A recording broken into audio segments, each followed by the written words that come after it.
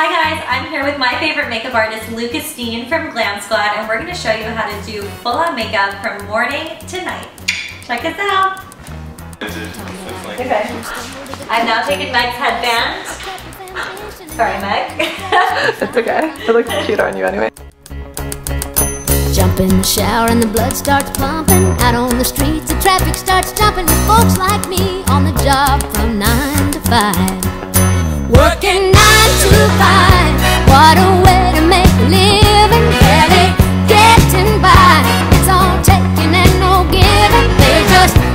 Your mind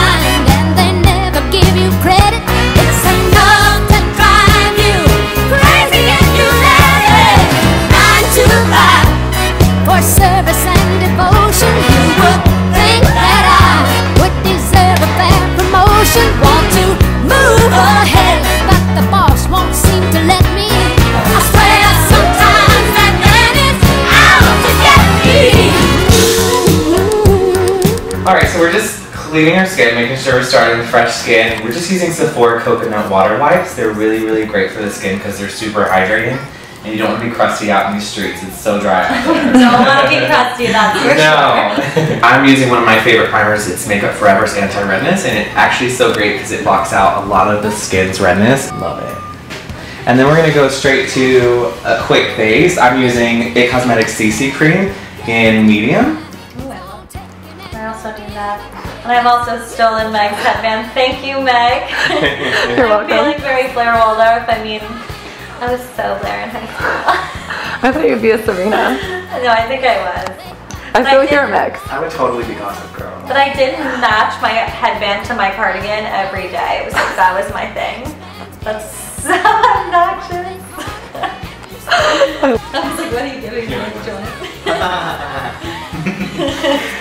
So now we're gonna go ahead and just conceal under the under eye. I'm using my favorite concealer right now as well, which is from IT Cosmetics. It's just to brighten, make sure you look like you've gotten a lot of sleep, I need that. cover any blemishes. So now I'm just gonna give a light powder. I am really funny and I love to do a mix of powder just so I can get the right skin tone. I buy this palette from Morphe Brushes. I really love it because it gives a satin finish and it sets your skin really softly. Just so you can start with your bronzer, your blush, and get to your quick contouring. Colors.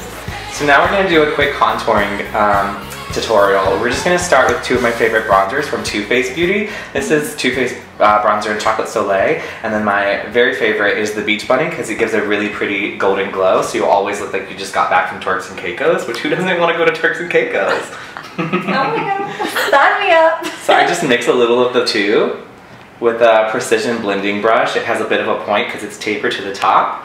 And we're gonna just follow Kate's natural uh, cheekbone, which starts by the peak of your ear here and just goes straight under. And you don't wanna go too far, so you don't look too nighttime, but just a quick little glow throughout the day. Everybody wants to have a little contour these days.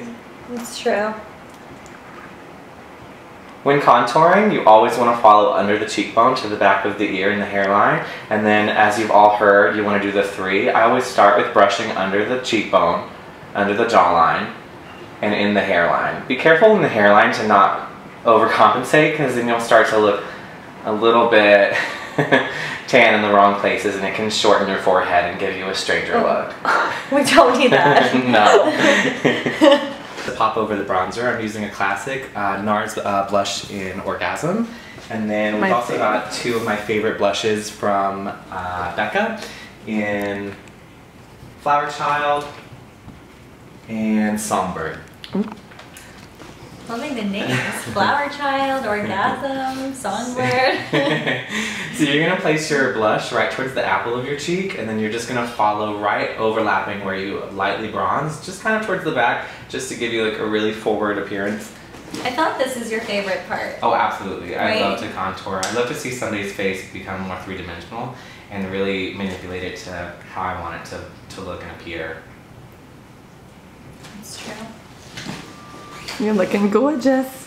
I don't know why I like to use so many products. Um, I You're a product junkie. I am a product junkie. Uh, the last step of contouring is um, definitely doing a highlighter. Um, using an Hourglass um, palette that I love. It's, it's, it's getting pretty low. It's time to restock. Um, it's their ambient uh, lighting palette. uh, from their first season. and you're just gonna take the highlighter right above the blush, just to blend the blush in and give We're you. so meta right now. Storying, talking, and videoing. I always go down um, the nose and in the center of the forehead just to give you that glowy look from the top. And I'm never afraid to take it a little closer to the eye as well because I think it looks really pretty after it settles. You're also king of the drop shadow, I've noticed. Yeah. Anytime you give me like, I just like have that little extra, I don't even know what it is, but it just makes the whole face. So this is really our finished contour for an everyday look with bronzer, highlighter, and blush, correct? yes, and so um, now we're gonna show how you can do an everyday eye, keep it very simple, and then I'll show you how to transition the look tonight. I'm gonna go ahead and. Okay ladies, so don't forget to always prime your eye before you apply any eyeshadow, even for everyday looks, just so that you can prevent it from creasing and making those weird sunset lines on your eyeball. Um, my favorite is Too Faced Eye 24 Eye Insurance. And it just takes the tiniest pea size. A little pea size. You can use your fingers, I use a brush. You just want to make sure you cover the entirety of the lid and then just blend it up into the under the eyebrow for blending colors. Mm, we always start with like a really great base tone. I'm using this color from the Too Faced um, Gold Chocolate palette. It's called Rolling in the Dough. Oh shit! You're so funny. Oh my gosh. I need to be wearing rolling in the dough every day. For an everyday eyeshadow look, it's just great to have like a simple base shadow laid down. We're gonna do a little bit of a taupe in her corner and maybe even a little bit of blush just to make it pop. I'm gonna take the same um, cocoa truffle color that we just used on the inside of the crease and on the corner of your eye. And I'm gonna give you a drop shadow where you take a little of it with a more pointed, precise brush, if you look up for me, and you just run it along the bottom um, lash line just to create a little more balance and roundness to the eye. You don't need a lot. And there you have it, ladies, just like that. You have your everyday eyeshadow look that only took three shades. We just finished our everyday look and now we're gonna show you how to transition from your everyday look to your nighttime look and really just emphasize the eyes instead of the eyes, the lips, the face. It's really good to just focus on one thing. So we're gonna start with just darkening the corners of your eyeshadow. Mm-hmm. I'm gonna take the black from this palette called Decadent. It's the same palette we used for your everyday look, but it has these darker shades, which I love. And you're gonna start with applying like a black shadow just in the corner to give yourself more of a smokier eye. And we're gonna blend it slightly up into your crease. I'm just starting with a little at a time so I don't get overwhelmed with too smoky, because it's just a quick, quick little bump into the night. Oh, bumping. bumping into the night. It makes me think of that song, Ladies League in Man. Yeah. We're really just really patting it into where your liner is just to give you a little bit more of a smokiness and up into the corner to make your eyes a little bigger. This is how I prefer to do smoky eye. Some people like to do the whole lid. I think that's fine too. It's just up to you. I've never had a smoky eye put on to me before. Really? Ever. Isn't that so weird? That's so weird. That was like the think it would be smoky eye was like my favorite Sweet 16 look. I would like so overdo it and be so scary. Literally, it was like terrifying. Make sure to always tap off the excess of your eyeshadow, especially if you're running from work to a you know a night out or something. Mm-hmm. You want to be careful not to get a lot of what we talked about earlier, where the shadow will fall out and fall under the eyes and get a little messier. So what if that does happen? What's a good trick? The best thing to do is to have like a quick little makeup wipe on you and a mm-hmm. concealer touch up. You can just lightly wipe off the concealer where it fell and touch up your face with your concealer. Yeah. So that's about a good amount in my opinion for the top of the eyelid for darkening the eye. And just to contrast and make it pop, I'm gonna start with more of a gold, especially since your eyes are this beautiful green hazel. I'm gonna compliment the client, keep the client. Uh, I'm gonna take the gold, I'm gonna pop it right over the middle of the eyelid.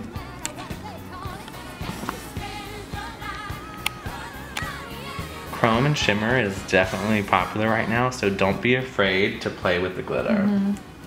It's all about that metallic mood. It wouldn't be a makeup tutorial with Lucas if we didn't have some shimmer. And It is true. It doesn't take a lot to really get that to read. However, I am going to take their more popular gold in this palette. It's called Chocolate Gold. The first one I used was Famous. This one is a slight more yellow and kind of a carrot kind of gold color.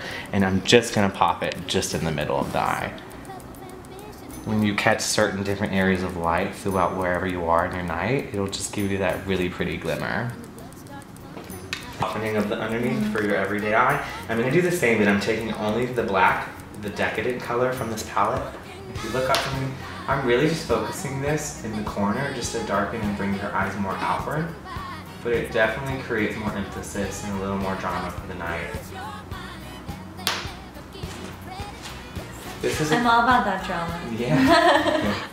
it's a great way to make yourself look more nighttime ready, but without looking like you tried too hard. No. Nobody wants to be that girl. Don't be a statistic. Last but not least, I always like to take an even brighter shimmer. this is from Makeup Forever. It's their loose pigment. This is um, number 13.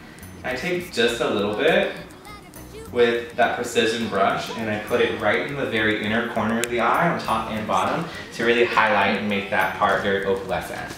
So if you look up for me and close.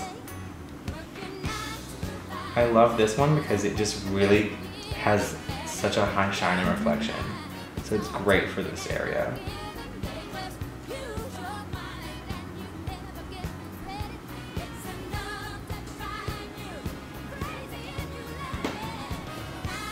And look up for me. And don't be afraid to bring this under the, the beginning of the lash line underneath as well.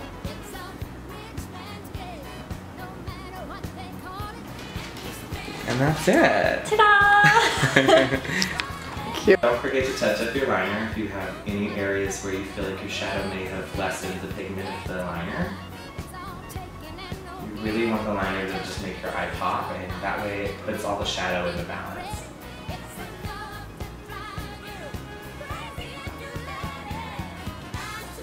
And then just like that, that's it. She's ready to go out. Woo! Did it! We're ready for a night out.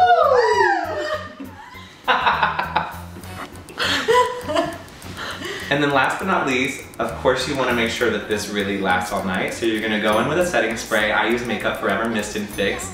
And instead of spraying your face, which is very common amongst the, the beauty industry, I've learned over lots and lots of experience to spray your brush instead and then gently rub the brush over the face, not to press too hard to blend your makeup too softly.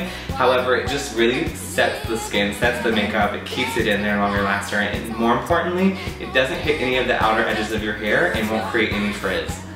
Oh, that is that is a good tip. Okay.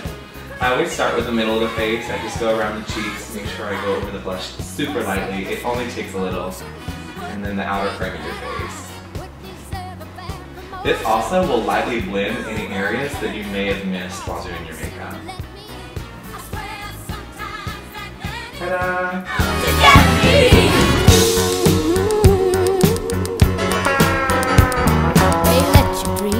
Watch them shatter. You're just a step on the boss man's ladder, but you got dreams